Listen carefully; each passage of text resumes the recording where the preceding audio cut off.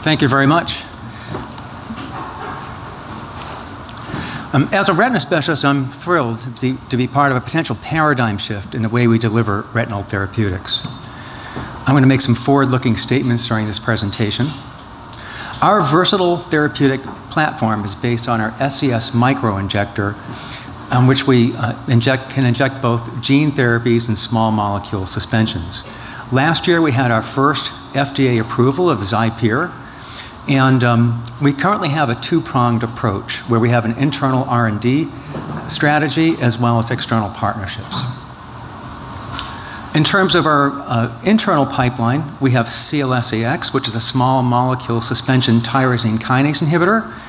It uh, is currently in a phase 1-2 trial for wet AMD. And we've partnered with REGENXBIO, who, as, as you heard earlier, uh, has a uh, gene therapy that they're administering suprachoroidally, currently in phase two trial for both wet AMD and diabetic retinopathy. We've also partnered with Aura Biosciences, who's, uh, who's injecting a virus-like drug conjugate um, into our suprachoroidal uh, injector to treat choroidal melanoma. That's currently in a phase two trial as well.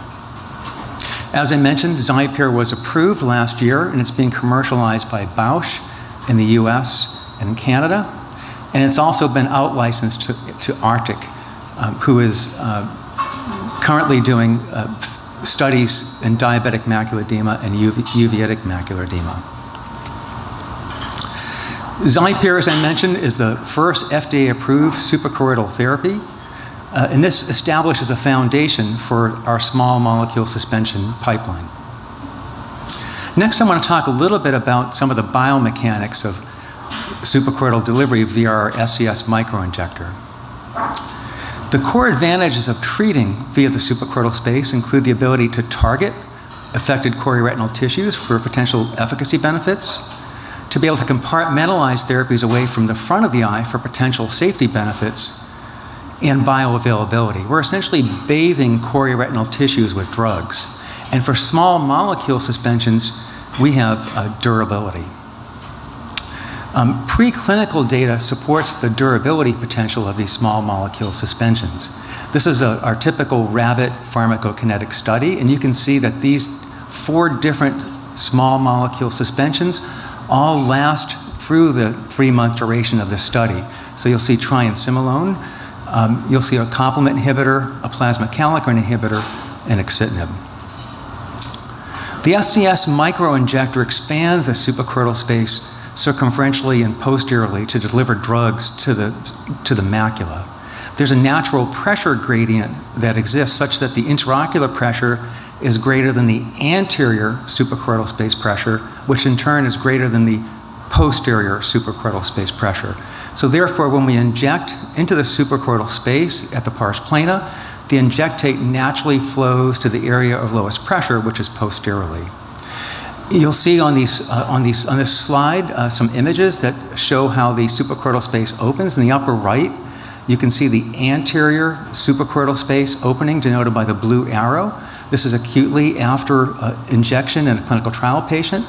And also, you, will see that the posterior suprachoroidal space pressure also expands slightly, and that's shown in the lower right. Both of these images have been published and they're available online. And could you run that video? This is an animation that shows how the uh, injection is performed at the pars plana, and you'd see the uh, injection flow posteriorly and circumferentially.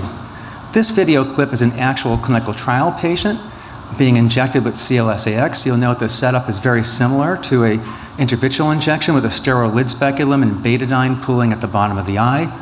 You would have noted that the uh, plunger was depressed slightly more slowly than an intravitreal injection because you're opening up this potential space. And you may have noted that there were no extraneous movements. The patient wasn't in any kind of distress or pain. Next, I want to talk a little bit about CLS-AX, which is our proprietary suspension of the uh, tyrosine kinase inhibitor axitinib. We're essentially marrying a very highly potent pan-VEGF tyrosine kinase inhibitor with the potential benefits of targeted delivery via the SCS microinjector. Suprachoroidal injection of CLS-AX provides targeted delivery compared to intravitreal injection at the same dose. So on the left, this is our standard rabbit pharmacokinetic study. We injected the same dose of axitinib suprachoroidally and intravitreally, and you'll notice in the top box that we achieve 11 times the levels in the posterior pole when we injected suprachoroidally versus intravitreally. In addition, um, on the right, you'll see that we were able to maintain drug levels out to six months or 182 days at the level of the retina and at the level of the RPE and choroid. And these levels are several log orders higher than the IC50 for the VEGF receptor 2. OASIS is our CLS-AX phase 1-2 clinical trial in wet AMD. It's a single dose escalating study. It's open label. There's four cohorts. Essentially, patients receive a aflibercept at screening. A month later, they receive CLS-AX suprachoroidally. Then they're followed for one, two, and three months. There's a three-month extension study, so the patients are essentially followed for a total of six months. In terms of safety, there's been no dose-limiting toxicities. There's been stabilization of disease activity based on CST and visual acuity.